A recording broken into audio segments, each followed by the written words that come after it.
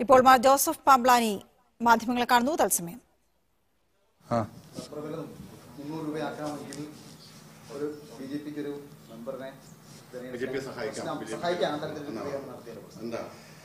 B J പിയെ സഹായിക്കാമെന്നല്ലല്ലോ ഞാൻ പറഞ്ഞത്. ഞാൻ പറഞ്ഞത് ഏത് മുൻ- മുന്നണി ആയിക്കോട്ടെ ഇടതു മുന്നണി ആയിക്കോട്ടെ കോൺഗ്രസ് ആയിക്കോട്ടെ ബി ജെ പി ആയിക്കോട്ടെ. ഇപ്പോൾ ഞങ്ങളെ സഹായിക്കാൻ വേണ്ടി നയം രൂപീകരിക്കാൻ സാധ്യതയുള്ളത് കേന്ദ്രം ഭരിക്കുന്ന ബി ജെ പിക്കാണ്.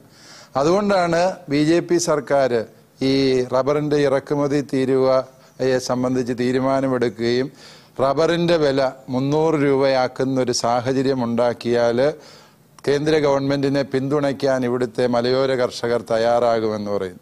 കാരണം മലയോര കർഷകർ അത്രയേറെ ഗതികേടിന്റെ വക്കിലാണ് നിൽക്കുക. അവർ ജപ്തി നോട്ടീസുകൾ കുടുംബങ്ങളിൽ എത്തിക്കൊണ്ടിരിക്കുന്ന സാഹചര്യമാണ് മുമ്പോട്ട് നോക്കുമ്പോൾ സമ്പൂർണമായ അന്ധകാരം മാത്രമാണ് കർഷകന്റെ മുമ്പിലുള്ളത്. ആ ഒരു പ്രതിസന്ധിയിൽ കർഷകർക്ക് ഇപ്പോൾ മുന്നോട്ട് നീങ്ങണമെങ്കിൽ ആകെ കൂടിയുള്ള അവരുടെ വരുമാന മാർഗം എന്ന് പറയുന്നത് റബ്ബർ കൃഷിയാണ്. ആ റബ്ബറിനെ ആരാണോ പിന്തുണയ്ക്കുന്നത് അവർക്ക് ഞങ്ങൾ പിന്തുണ നൽകും എന്ന് പറയുന്നത് മറ്റ് രാഷ്ട്രീയ ലക്ഷ്യങ്ങളൊന്നും വെച്ചുകൊണ്ടല്ല. മറിച്ച് കർഷകന്റെ അവസ്ഥ അത്രമേൽ ദയനീയമാണ് എന്ന് അധികാരികളുടെ ശ്രദ്ധയിൽപ്പെടുത്തുക എന്നുള്ളതാണ് ഞങ്ങൾ ലക്ഷ്യമാക്കുന്നത്. റബ്ബറിന്റെ വിലയെ സ്വാധീനിക്കാൻ ഇപ്പോൾ കഴിയുന്നത് കേന്ദ്ര സർക്കാരിനാണ് ബി ജെ പിക്കാണ്. അപ്പൊ അങ്ങനെ ഒരു ഈ പറയുന്ന പിതാവ് പറയുന്ന ഒരു രാഷ്ട്രീയ തീരുമാനം ബി ജെ പി എടുത്താൽ അത് ബി ജെ പിക്കുള്ള പിന്തുണയായി മാറുമോ? തീർച്ചയായും അത് ഞാൻ എടുക്കുന്ന ഒരു തീരുമാനമായിട്ടല്ല. അത് കുടിയേറ്റ കർഷകരുടെ അല്ലെങ്കിൽ മലയോര കർഷകരുടെ റബ്ബർ കർഷകർ റബ്ബർ കർഷകർ എന്ന് പറഞ്ഞ ഒരു ചെറിയ വിഭാഗമല്ല കേരളത്തിൽ ഏകദേശം പതിനഞ്ച് ലക്ഷത്തിലധികം കുടുംബങ്ങൾ ഈ റബ്ബറിനെ ആശ്രയിച്ച് ജീവിക്കുന്ന സാഹചര്യമാണ് കേരളത്തിലുള്ളത്. അത്രയും വിശാലമായ ഒരു സമൂഹം ഇപ്പോഴനുഭവിച്ചുകൊണ്ടിരിക്കുന്ന പ്രതിസന്ധി എന്ന് പറയുന്നത് സമാനതകളില്ലാത്ത പ്രതിസന്ധിയാണ്. ഒരു കിലോ റബ്ബർ ഉൽപ്പാദിപ്പിക്കുന്നതിന് ചുരുങ്ങിയത് ഒരു ഇരുന്നൂറ്റി ഇരുപത് രൂപ ചെലവ് കർഷകർക്കുണ്ട്. പക്ഷേ ഇപ്പോൾ കിട്ടുന്നത് നൂറ്റി ഇരുപത് രൂപയാണ്. അവൻ എങ്ങനെ അതുകൊണ്ട് ജീവിക്കും? അവനെടുത്ത ലോണ് അവൻ കണ്ട സ്വപ്നങ്ങൾ അവന്റെ മക്കളുടെ ഭാവി എല്ലാം അപകടത്തിലാകുന്ന ഒരു സാഹചര്യമാണ് റബ്ബറിന്റെ വിലയിടിവിലൂടെ സംഭവിച്ചിരിക്കുന്നത്. അത് പരിഹരിക്കാൻ ആരാണോ മുൻകൈയെടുക്കുന്നത് അവരുടെ പക്ഷത്ത് നിൽക്കാൻ കർഷകർ തയ്യാറാണ്. അതായത് ബി ജെ പി ആണെങ്കിൽ ബി ജെ പി സംസ്ഥാനം ഭരിക്കുന്ന ഇടതുമുന്നണിക്ക് അതിന് സാധിക്കുമെങ്കിൽ ഇടതുമുന്നണിക്കൊപ്പം നിൽക്കാൻ കർഷകർ തയ്യാറാണ്. പിതാവ് പിതാവ് ഇന്നലെ പറഞ്ഞ വാക്ക് ഇങ്ങനെയാണ്. അതായത് റബ്ബറിന്റെ വില മുന്നൂറ് രൂപയാക്കുകയാണെങ്കിൽ കേരളത്തിൽ ഒരു എം പി ഇല്ല എന്നുള്ള വിഷമവും മലയോരത്തെ കുടിയേറ്റ കർഷകർ മാറ്റിത്തരും എന്നാണ്. ആ നിലപാടിൽ ഉറച്ചു നിൽക്കുന്നുണ്ടോ? തീർച്ചയായും. ഞാൻ ഈ പറഞ്ഞതിന്റെ അർത്ഥം അത് തന്നെയല്ലേ? ബി ജെ പിക്ക് കേരളത്തിൽ എം പിമാരില്ല എന്നുള്ളത് വസ്തുതയാണ്. പക്ഷെ അത് ബി ജെ പി ആണോ ഇടതുമുന്നണിയാണോ അല്ലെങ്കിൽ ഇടതുമുന്നണിക്ക് ഇപ്പോൾ ഈ മലയാളത്ത് എം പിമാരൊന്നും ഇല്ലാത്ത സാഹചര്യമാണ് അല്ലേ? അപ്പോൾ ഇത് ആരാണോ കർഷകനെ പിന്തുണയ്ക്കുന്നത് അവരുടെ പക്ഷത്തായിരിക്കും നമ്മൾ. ബി ജെ പിയുമായി എങ്ങനെയെങ്കിലും സംസാരിക്കാൻ ഒരു അവസരം കിട്ടിയാൽ അതും ഉപയോഗപ്പെടുത്താമെന്ന് ബി ജെ പിയുമായിട്ട് സംസാരിക്കാൻ മേലാത്ത സാഹചര്യമൊന്നുമില്ലല്ലോ. രാജ്യം ഭരിക്കുന്ന ഒരു ഭരണകക്ഷിയോട് സംസാരിക്കുന്നതിൽ സഭയ്ക്കോ സഭാ നേതൃത്വത്തിനോ യാതൊരു അകൽച്ചയുമില്ല. അവർ പല കാര്യങ്ങളും പല സാഹചര്യങ്ങളിലും സംസാരിച്ചിട്ടുണ്ട്. സംസാരങ്ങൾ എല്ലാ മേഖലയിലും തുടരുന്നതുമാണ്. അതായത് രണ്ടായിരത്തി ഇരുപത്തിനാലിൽ തെരഞ്ഞെടുപ്പ് വരാനിരിക്കുകയാണ് ലോക്സഭാ തെരഞ്ഞെടുപ്പ്. അതിനു മുമ്പുള്ള ഒരു രാഷ്ട്രീയ തീരുമാനം ഇക്കാര്യത്തിൽ ഉണ്ടാവുക ഇപ്പൊ ബി ജെ പി ഇക്കാര്യത്തിൽ സംസാരിച്ചാൽ? ഇതിനൊരു ഇതിനെ ഒരു സഭയുടേതായ നിലപാടായിട്ടോ അതല്ല എങ്കിൽ ഇത് കത്തോലിക്ക സഭയുടെ നിലപാടായിട്ടോ നിങ്ങൾ ഇതിനെ വ്യാഖ്യാനിക്കുകയും ഇതിനെ മതപരമായി ചിത്രീകരിക്കുകയും ചെയ്യേണ്ട കാര്യമില്ല.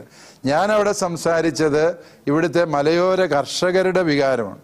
മലയോര കർഷകർക്ക് വേണ്ടിയുള്ള സംസാരമാണ്. അതിനെ ഇതിനെ സഭയും ബി ജെ പിയും തമ്മിൽ അലയൻസ് ആക്കുന്നു എന്ന രീതിയിലേക്ക് ദുർവ്യാഖ്യാനം ചെയ്യേണ്ട കാര്യം ഇതിനകത്തുണ്ട് എന്ന് ഞാൻ വിചാരിക്കുന്നില്ല. പ്രത്യക്ഷത്തിൽ ഇതിപ്പോ കേൾക്കുമ്പോ ബി ജെ പിയെ പിന്തുണക്കാനാണ് ഞങ്ങൾ തീരുമാനിക്കുന്നതെങ്കിൽ അങ്ങനെ ചെയ്യും. അപ്പൊ അതിന് യാതൊരു മടിയും ഇല്ല എന്നാണ്. ഒരു മടിയുമില്ല കാരണം അത് അതിനെ ഏക വ്യത്യാസം എന്ന് പറയുന്നത് അത് സഭയുടെ തീരുമാനമായിട്ട് വരാ നിങ്ങൾ അവതരിപ്പിക്കരുത്. മറിച്ച് അത് മലയോര കർഷകരുടെ തീരുമാനമാണ്. കർഷകരുമായി കൂടിയാലോചിച്ചിട്ട് ഞങ്ങളെടുത്ത ഒരു നിലപാടാണ് ഞാൻ അവിടെ പ്രഖ്യാപിച്ചത്. അല്ലാതെ സഭയുടെ നിലപാടല്ല അവിടെ പ്രഖ്യാപിച്ചത്. ക്രൈസ്തവ സമൂഹമാണ്. പ്രത്യേകിച്ച് അങ്ങ് അതിന്റെ ആർച്ച് ബിഷപ്പ് ആളാണ്. അങ്ങ് അങ്ങനെ ഒരു ആഹ്വാനം നടത്തുമ്പോൾ സ്വാഭാവികമായും അത് ക്രിസ്ത്യൻ കമ്മ്യൂണിറ്റിയെ മൊത്തത്തിൽ അത് ഇൻവോൾവ് ആവില്ലേ? അവർ അത് സ്വാധീനിക്കില്ലേ? അവർ സ്വാധീനിക്കപ്പെടണമല്ലോ. അവരുടെ വികാരമാണ് അവർ ഞാൻ സ്വാധീനിക്കുകയല്ല അവരുടെ വികാരം അവരെന്നോട് പങ്കുവെച്ചത് ഞാൻ പരസ്യമായി പ്രഖ്യാപിക്കുകയാണ് ചെയ്തത്. അല്ലാതെ ഞാനൊരു ആശയം പറഞ്ഞ് മലയോര കർഷകരെ ആ ദിശയിലേക്ക് കൊണ്ടുവരാൻ ശ്രമിക്കുകയല്ല ചെയ്യുന്നത്. മലയോര കർഷകരുടെ പൊതുവികാരം എന്റെ നാവിലൂടെ സർക്കാരിന്റെ മുമ്പിൽ ഞങ്ങൾ അവതരിപ്പിക്കുകയാണ് ചെയ്തത്. അതായത് അത്തരമൊരു ഓഫർ ബി മുന്നോട്ട് വെച്ചാൽ ഈ തെരഞ്ഞെടുപ്പിൽ അവർക്ക് പിന്തുണ നൽകും എന്ന് തന്നെയാണ് അവർക്ക് മലയോര കർഷകർ പിന്തുണ നൽകും. സംശയമില്ല. വലിയ ആംഗിളിലേക്ക് അതിനെ കൊണ്ടുപോകണമെന്നാണ് കത്തോലിക്ക സഭ എന്നുള്ളതും ബി ജെ പി ആയിട്ടുള്ള ബന്ധം ആ രീതിയിൽ അതിനെ വ്യാഖ്യാനിക്കേണ്ട കാര്യമില്ല. അതിനെക്കുറിച്ചുള്ള തീരുമാനങ്ങൾ എടുക്കേണ്ടത് ഇങ്ങനെയുള്ള സമ്മേളനങ്ങളിലല്ലോ സമ്മേളനങ്ങളിലല്ലല്ലോ. ഒരു ചർച്ചയ്ക്ക് എന്തെങ്കിലും തുടക്കം ഇട്ടിട്ടുണ്ടോ? ഒരു ചർച്ചയും ഈ ഇതുവരെയും ആ മേഖലയിൽ തുടങ്ങിയിട്ടില്ല. ഞങ്ങൾ ഞങ്ങളുടെ ഭാഗത്തുനിന്ന് പറയാനുള്ളത് പറഞ്ഞു. അത്രേ ഉള്ളൂ. ബി ജെ പിക്ക് മാത്രമല്ലല്ലോ ബാക്കി എല്ലാവർക്കും പറയാം. അതായത് അടുത്ത ഭരണം കിട്ടുമെന്ന് ആഗ്രഹിക്കുന്ന ഏത് പാർട്ടിക്കും ഈ ഓഫറുമായിട്ട് ഞങ്ങളുടെ മുമ്പിൽ വരാം. അതായത് നിലവിലെ തീരുവ കുറച്ചാൽ കുറക്കണമെന്നില്ല കുറക്കണം എന്നില്ല ഇനി കുറക്കുമെന്ന് വാഗ്ദാനം കിട്ടിയാൽ മതി. വാഗ്ദാനം ഒന്നും കിട്ടിയാൽ പോരാ. റബ്ബർ മുന്നൂറ് രൂപയ്ക്ക് എടുക്കണം. അത്രേ ഉള്ളൂ. തീരുമാനം എടുക്കാൻ കഴിയുന്നത് ബി ജെ പിക്ക് മാത്രമാണ്. നിലവിൽ കേന്ദ്രം ഭരിക്കുന്ന ഒരു പാർട്ടി. യെസ് ഇതാ ഇപ്പൊ എം പി വനമാഷൊക്കെ എം പി വനമാഷൊക്കെ പറഞ്ഞത് കേവലം ഒരു റബ്ബർ മാത്രമാണ് ക്രിസ്ത്യാനിയുടെ പ്രശ്നം? ക്രിസ്ത്യാനിക്ക് ഇവിടെ വേറെ നിരവധി പ്രശ്നങ്ങളുണ്ട്. ഉത്തരേന്ത്യൻ സംസ്ഥാനങ്ങളിൽ വ്യാപകമായി ക്രിസ്ത്യൻ സമൂഹം ആക്രമിക്കപ്പെടുന്നു ബി ജെ പി. അപ്പോ കേവലം ഒരു റബ്ബറിന്റെ വില മാത്രം മുന്നോട്ട് വെച്ചിട്ട് എങ്ങനെയാണ് ബി ജെ പി വോട്ട് ചെയ്യണമെന്ന് പിതാവിന് പറയാൻ കഴിയുക എന്നാണ് ചോദിക്കുന്നത്. റബ്ബറിന്റെ വില എന്ന് പറയുന്നത് അതൊരു നിസാര വിഷയമായിട്ട് ഗോവിന്ദൻ മാഷിന് തോന്നുന്നുണ്ടായിരിക്കും. പക്ഷേ മലയോര കർഷകർക്ക് അതൊരു നിസാര വിഷയമായി തോന്നുന്നില്ല. ഈ മലയോര കർഷകർ ഒരു പരമ്പരാഗതമായി നോക്കുകയാണെങ്കിൽ കോൺഗ്രസിനെ കേരള കോൺഗ്രസിനൊക്കെ പിന്തുണച്ച് കൂടുതലായി പിന്തുണയ്ക്കുന്നവരാണ്. അപ്പോൾ അവരെ കൊണ്ടൊരു നേട്ടം ഉണ്ടാകുന്നില്ല എന്ന് കരുതുന്നതുകൊണ്ടാണ് ഇപ്പോൾ ഒരു ബി ജെ പി ആണെങ്കിൽ അവർക്ക് സപ്പോർട്ട് ചെയ്യാൻ തയ്യാറാണെന്ന് പറയുന്നത്. അവരെ കൊണ്ട് നേട്ടം ഉണ്ടാകുന്നില്ല എന്നുള്ളതിന്റെ തെളിവാണല്ലോ റബ്ബറിന്റെ വില നൂറ്റി ഇരുപതായി നിൽക്കുന്നത്. ഈ കേരളത്തിലെ താങ്ങുവിലയുടെ കാര്യത്തിലൊക്കെ സംസ്ഥാന സർക്കാർ ഒരു വാഗ്ദാനം പാലിച്ചില്ല എന്നൊരു തോന്നലുണ്ടാകും തോന്നലല്ലല്ലോ പാലിച്ചില്ലല്ലോ. ഇന്നലെ വളരെ ശക്തമായി സർക്കാരിനെ വിമർശിച്ചു. അതായത് നൂറ്റി അമ്പതായി നൂറ്റി ഇരുപതായി വില അപ്പോഴൊക്കെ സർക്കാർ കൈയും കെട്ടി നോക്കി നിൽക്കുകയായിരുന്നു എന്നാണ്. യെസ് അത് വസ്തുതയാണെന്ന് നിങ്ങൾ മാധ്യമപ്രവർത്തകർക്ക് അറിയാമല്ലോ. ഈ വിഷയത്തിൽ അപ്പൊ അങ്ങനെ ഇടതുമുന്നണി സർക്കാരിൽ അങ്ങനെ ഒരു വിശ്വാസം ഉണ്ടായത് പോയി എന്നുള്ളതാണോ? അല്ലെങ്കിൽ ഇടതുമുന്നണി സർക്കാരിൽ വിശ്വാസം ഉണ്ടായത് പോയി എന്നല്ല. ഇടതുമുന്നണി സർക്കാർ പല കാര്യങ്ങളും അനുഭാവപൂർവം ചെയ്തിട്ടുള്ളതിനെയൊക്കെയും ഞങ്ങൾ നന്ദിയോടെ സ്നേഹത്തോടെ ഓർക്കുന്നുണ്ട്. ഇടതുമുന്നണിയുമായിട്ടൊരു സംഘർഷത്തിനോ ഏറ്റുമുട്ടലിനോ സഭയ്ക്ക് താല്പര്യമില്ല സഭയുടെ മേഖല അതല്ല. മറിച്ച് ഇവിടെ ഇപ്പൊ സർക്കാരിന്റെ കയ്യിൽ കാശില്ല ശമ്പളം കൊടുക്കാൻ പോലും കാശില്ലാതെ പല കാരണങ്ങൾ അതിനുണ്ടാവാം. അതിന്റെ പേരിൽ അവർ ബുദ്ധിമുട്ടുമ്പോൾ റബ്ബർ കർഷകർക്ക് കിട്ടുന്നില്ല. കുടിശ്ശികയായി പണ്ട് വാഗ്ദാനം ചെയ്തതും എടുത്തത് പോലും കിട്ടുന്നില്ലാത്ത സാഹചര്യമുണ്ട്. ആ സാഹചര്യത്തിൽ അതേസമയം കർഷകന്റെ മേൽ ജപ്തി നോട്ടീസുകൾ ഒന്നിനു പിറകെ ഒന്നായി വന്നുകൊണ്ടേയിരിക്കുന്നു. മനുഷ്യൻ മുമ്പോട്ടൊരു ചുവട് വയ്ക്കാൻ മേലാത്ത പ്രതിസന്ധിയിൽ പെട്ടിരിക്കുകയാണ്. ആ പ്രതിസന്ധിക്ക് ന്യായമായൊരു പരിഹാരം കാണുക എന്നുള്ളതാണ് ഞങ്ങൾ ആഗ്രഹിക്കുന്നത്. ഇങ്ങനെ ഒരു പ്രസ്താവന വരുമ്പോൾ സ്വാഭാവികമായും നേതാക്കൾ താങ്കളെ വിളിക്കുകയോ സന്ദർശിക്കുകയോ എന്തെങ്കിലും ഉണ്ടായോ? വിളിക്കുകയും സന്ദർശിക്കുകയൊക്കെ ചെയ്യും. അത് വ്യക്തിപരമായ വിഷയങ്ങളായതുകൊണ്ട് അവർ പരസ്യമായി പറയാത്തിടത്തോളം കാലം അത് പരസ്യപ്പെടുത്താൻ ഞാൻ ഉദ്ദേശിക്കുന്നു. ബി ജെ പി നേതാക്കൾ താങ്കളെ സമീപിച്ച് കഴിഞ്ഞോ ഈ പ്രസ്താവന വന്നതിന് ഇല്ല. ബി ജെ പി നേതാക്കൾ ഇതിന്റെ പേരിൽ എന്നെ സമീപിച്ചിട്ടില്ല. ഒന്നാം നമ്മൾ ചർച്ച നടത്തുന്നത് ഇവിടെ ഈ തലശ്ശേരി ബിഷപ്സ് ഹൗസ് ഏത് നേതാക്കൾക്കും എപ്പോഴും സ്വാഗതമരുളുന്നൊരു സ്ഥാപനമാണ്. ഇവിടെ ആർക്കും അസ്പൃശ്യതയില്ല. ഇവിടെ വരുന്നവരെ ഞങ്ങൾ വളരെ ഹൃദ്യമായി സ്വീകരിക്കും.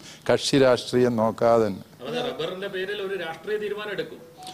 റബ്ബറിന്റെ പേരിൽ രാഷ്ട്രീയ തീരുമാനം എടുക്കുന്നത് റബ്ബർ കർഷകരാണ്. കർഷകരുടെ ഞാനല്ല.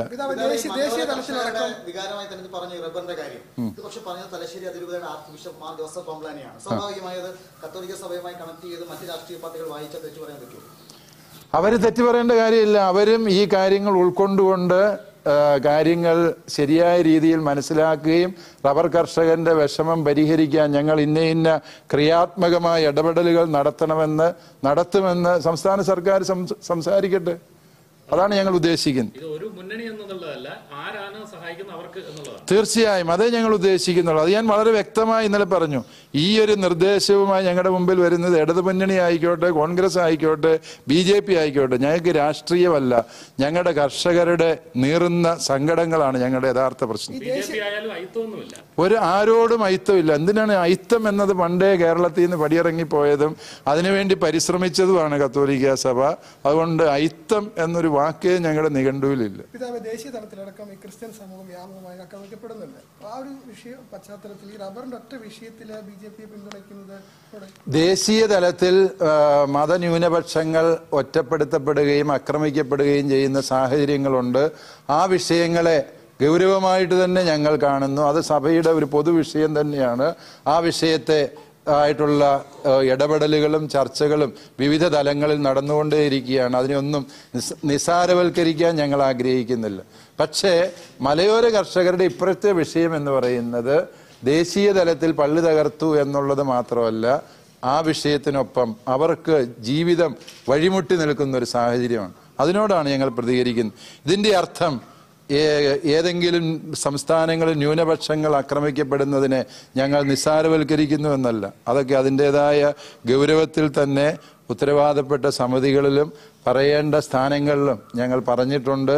ഇനിയും അത് പറഞ്ഞുകൊണ്ടേ ഇരിക്കുകയും ചെയ്യും. എം പി ഉണ്ടാകുമ്പോൾ ഇത്തരം ആക്രമണങ്ങൾക്കൊക്കെ ദേശീയ തലത്തിൽ ശക്തി പകരല്ലേ ചെയ്യുക ബി ജെ പിക്ക് കുറെ കൂടെ സ്വാധീനം വരുമ്പോൾ അങ്ങനെ ആകണമെന്നില്ലല്ലോ. ഈ എം പി ഉണ്ടാകുമ്പോൾ ആ എം പിക്ക് ഇത്തരം ഡയലോഗുകൾക്ക് ഇനീഷ്യ ഇനീഷ്യേറ്റ് ചെയ്യാൻ പറ്റുള്ളൂ. പ്രശ്നങ്ങൾ ഉണ്ടാകാതെ നോക്കാൻ പറ്റുള്ളൂ. ആഹ്വാനം നടത്തുമ്പോൾ അത് മലയോര കർഷകർ എത്രത്തോളം സ്വീകരിക്കും എന്നാണ് കരുതുന്നത്? അത് വോട്ടാക്കി മാറ്റാൻ അവർ തയ്യാറാകും എന്ന് പ്രതീക്ഷിക്കുന്നു മലയോര കർഷകര് എന്നോട് ആവശ്യപ്പെട്ട കാര്യമാണ്. അല്ലാണ്ട് ഞാൻ ഇത് ആഹ്വാനം ചെയ്ത് അവരെ മാനസാന്തരപ്പെടുത്തി മാറ്റുക എന്നുള്ളതാണ് നിങ്ങൾ തെറ്റിദ്ധരിക്കുന്നത്. അല്ല മലയോര കർഷകരുടെ സമിതികൾ എന്നോട് ആവശ്യപ്പെട്ട നിലപാടാണ് പിതാവ് ഇങ്ങനെ ഒരു നിലപാട് പ്രഖ്യാപിക്കണമെന്ന് പറഞ്ഞു. ആ നിലപാടാണ് ഞാൻ പ്രഖ്യാപിച്ചത്. അത് അവരെ ആരെയും ബലം പ്രയോഗിച്ചോ ഏതെങ്കിലും സമ്മർദ്ദങ്ങളിലൂടെയോ പ്രലോഭനങ്ങളിലൂടെയോ അവരെ ഏതെങ്കിലും ഒരു മുന്നണിയുടെ തൊഴുത്തിൽ കൊണ്ടേ കെട്ടുക എന്നുള്ള ഉദ്ദേശം എനിക്കില്ല. മലയോര കർഷകരുടെ വികാരം ഞാൻ വ്യക്തമായ ഭാഷയിൽ പറഞ്ഞു.